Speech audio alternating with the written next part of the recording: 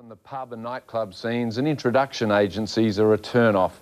But Vilma Ward's been looking at social clubs and found a romantic success story. There's nothing like a springtime wedding. And like most brides on their big day, Joy Clements has a case of prenuptial excitement. and in just three hours' time, she'll join her sweetheart Bert at the altar to become Mrs. Harris. And I can't wait to get there and meet Bert and go through the ceremony with him. I'm dying to be Joy Harris.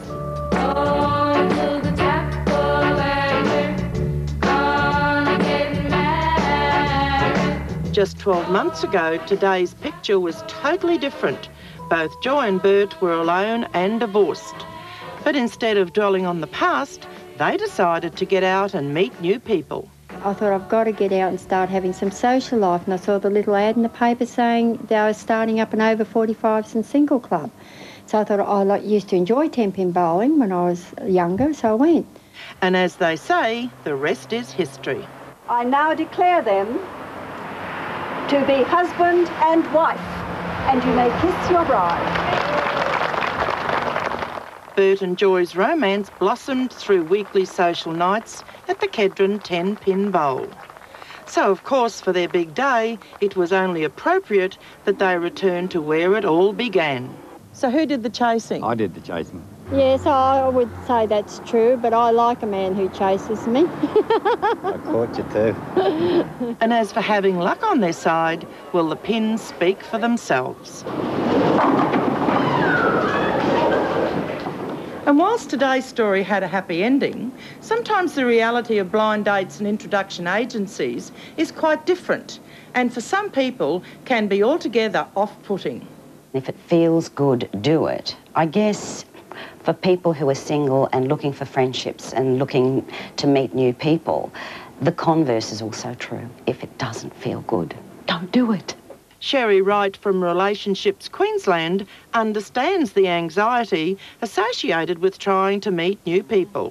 It's scary for anyone to go out and meet new people, and particularly those people that have been in a relationship before, and more so the longer you've been in a long term relationship.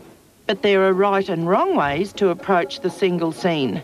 And Sherry warns against focusing all your energy on meeting the elusive Mr. or Mrs. Right if they go out with the idea of enjoying themselves, enjoying the activity, and perhaps making new friendships rather than this is the one, um, I think by lowering their expectations down to that level, they risk much less disappointment. But if you're alone and find the whole pub and club scene quite daunting, or refuse to let a computer match you with a partner where do you begin?